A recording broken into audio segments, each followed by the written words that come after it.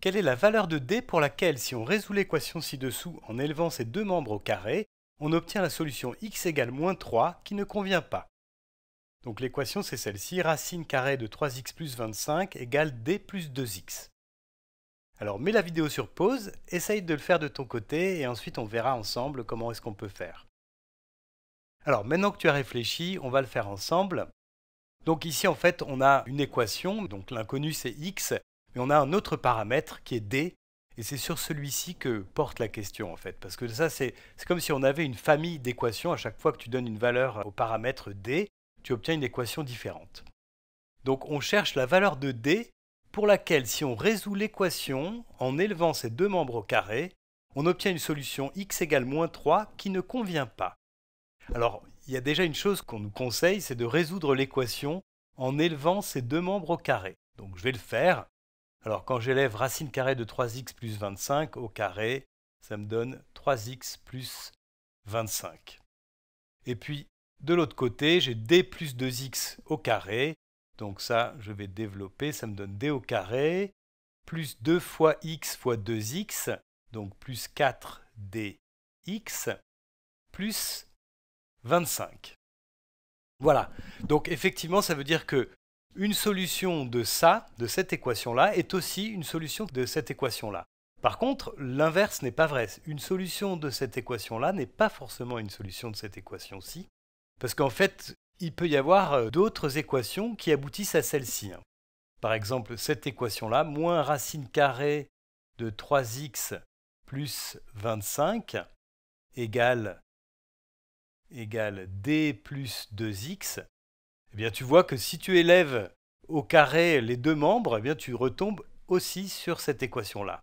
Donc on a notre équation qui est, quand on l'élève au carré, elle donne cette équation-ci. Mais celle-ci, qui est différente, c'est une autre équation, elle donne aussi cette équation-là quand on l'élève au carré.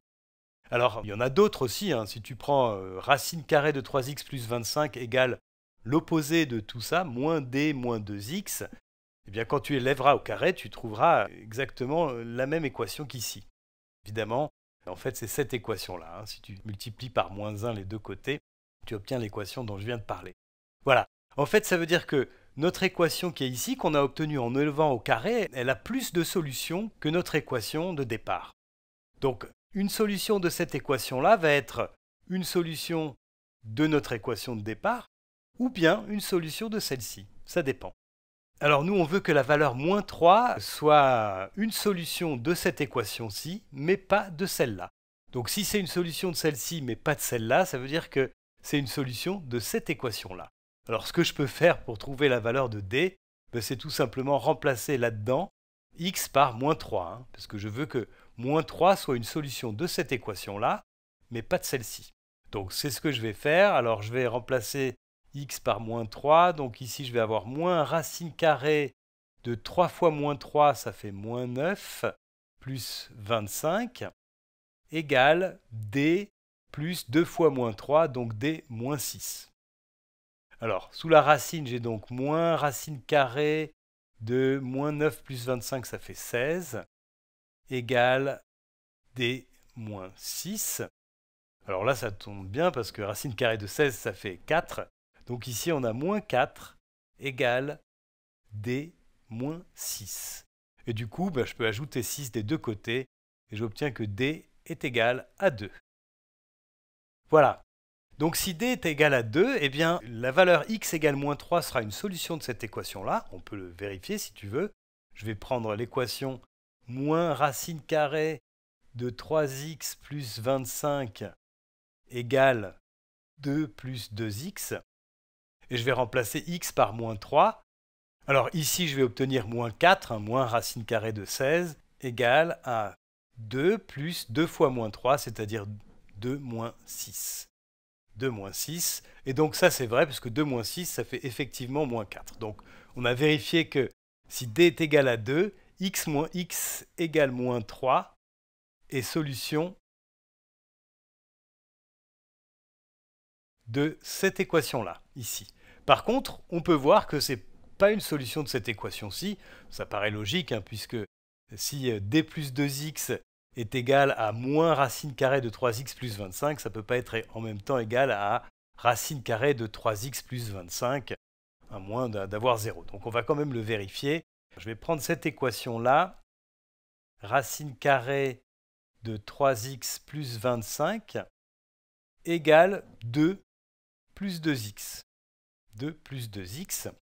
Et donc je vais vérifier si x égale moins 3 est une solution de cette équation-là. Alors je vais remplacer x par moins 3. Ici je vais avoir, comme tout à l'heure, racine carrée de 16, donc 4. On peut l'écrire directement. 4. Et ici 2 plus 2 fois moins 3, ça fait donc 2 moins 6.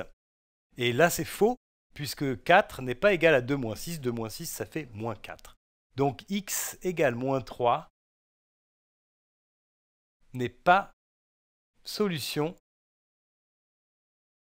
de cette équation-là. Racine carrée de 3x plus 25 égale 2 plus 2x. Voilà, donc là on a terminé, en fait on a répondu à la question. On a trouvé la valeur de d, d égale 2, pour laquelle si on résout notre équation en élevant au carré, donc c'est ce qu'on a fait ici, on obtient une solution qui est x égale moins 3, qui ne convient pas. X égale moins 3, c'est bien une solution de cette équation-là, tu peux le vérifier forcément, puisqu'on a vu que c'était une solution de cette équation-là. Donc c'est une solution de l'équation qu'on obtient en enlevant au carré, mais pas de cette équation-là, qui était notre équation de départ.